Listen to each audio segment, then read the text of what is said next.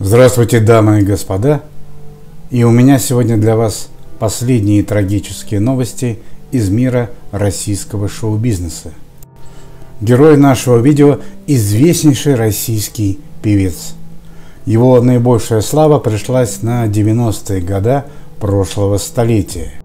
За время своей творческой карьеры он записал более 7 альбомов и снялся более чем в 100 видеоклипах.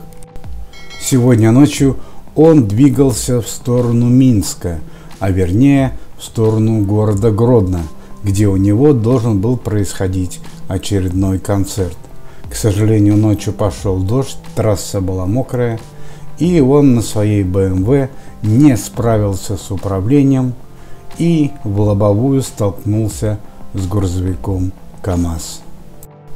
Удар был настолько силен, что от машины не осталось живого места.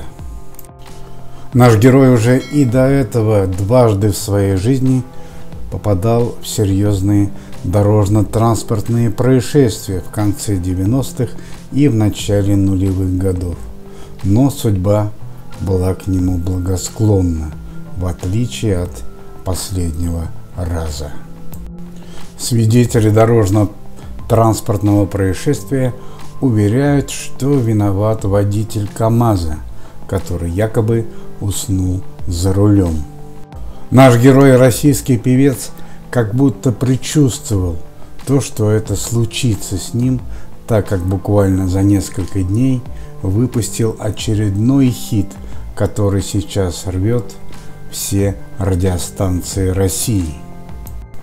Буквально несколько минут назад стало известно, что звезда 90-х Кай Метов не справился с управлением по дороге на свой концерт в Минск и столкнулся с грузовиком КАМАЗ.